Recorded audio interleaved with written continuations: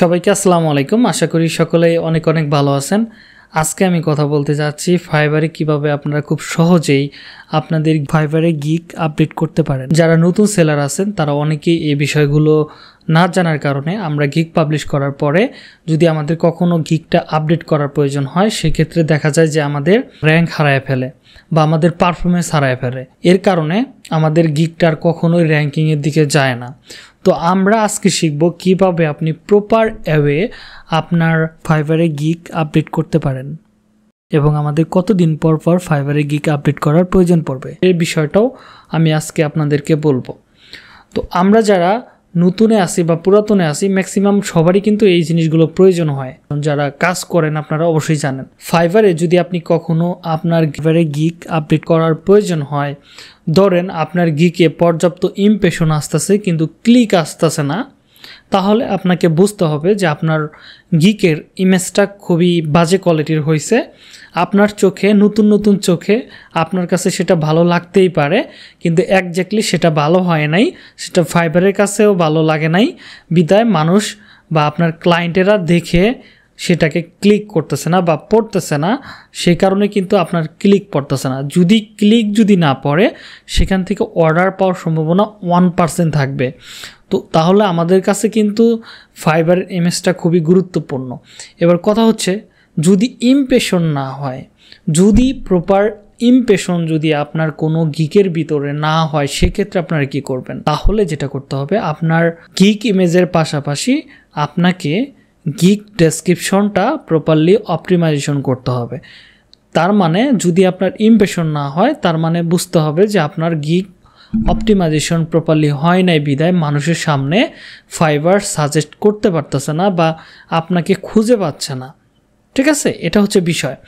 তো এবার ইমপ্রেশন আর ক্লিকের বিষয়টা আমি তো আপনাদেরকে বলেই দিলাম যে কোনটার কারণে কোনটা হয়। তো এবার আসেন, যখন আপনার এই কাজগুলো করার পরে আপনার ক্লিক ইমপ্রেশন দ্রুত আসবে, তখন কিন্তু আসলে অর্ডার পাওয়ার সম্ভাবনাটা অনেক বেড়ে যাবে। এইটটি পার্সেন্ট কিন্তু বেড়ে যাবে যে আপনি অর্ডার পাবেনই। যদি দেখেন যে দশ হাজার মানুষ আপনার দেখছে মানে ইমপ্রেশন হয়েছে সেখান থেকে যদি আপনার পাঁচশো ক্লিক আসে, আশা করা যায় যে ওইখান থেকে মিনিমাম অর্ডার নাও জেনারেট হলে দশটা অর্ডার জেনারেট হবে। এটা ম্যাক্সিমাম হিসাব আর কি, আমাদের হিসাবে। তো যদি না আসে, তাহলে বুঝতে হবে যে আপনার গিক ডেসক্রিপশন হয়তো অপটিমাইজেশন আছে, কিন্তু গিকের ভিতরে সার্ভিসগুলো ভালোভাবে ডিসক্রাইব করা হয় নাই, বিদায়। আপনার অর্ডারগুলো আসতেছে না। তার মানে মানুষ আপনার গিকে আসতেছে, দেখতেছে ক্লিক করার পরে তারা তার যে প্রয়োজনীয় সার্ভিসটা আপনি প্রপারলি তুলে ধরতে পারেন নাই, সেই জন্যই কিন্তু তিনি অর্ডারগুলো করতেছে না। এটা হচ্ছে মূল বিষয়। তো এবার কথা হচ্ছে এটা, তাহলে আপনাকে ঠিক করতে হবে। আমি মোটামুটি কয়েকটা প্রবলেম কিন্তু আমি বলে দিলাম। ঠিক আছে? প্রবলেম কিন্তু কয়েকটা, আমি বলে দিলাম। এবার আসেন গিক আপডেট কীভাবে করতে হয়? যদি আপনার গিক র্যাঙ্কিংয়ে আছে, ধরেন এক, দুই, তিন, চার নাম্বার পজিশনে আছে, সেই ক্ষেত্রে আপনি কি করবেন?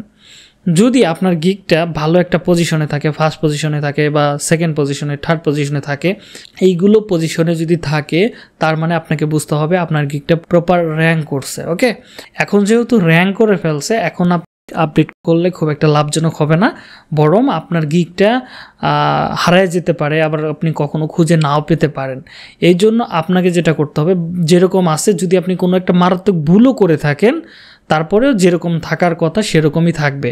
আর যদি একেবারেই গুরুত্বপূর্ণ হয় যে আপনাকে করতে হবে, তাহলে কোনো প্রকার পজ করা যাবে না। গিক পজ না করে আপনি গিক এডিট অপশন থেকে যায় এডিট করবেন, তাহলে দেখা যাবে যে আপনার গিকটা যদি পিছায়ও সেক্ষেত্রে এক থেকে দুই নাম্বার পজিশন বা তিন নাম্বার পজিশন পর্যন্ত যাবে।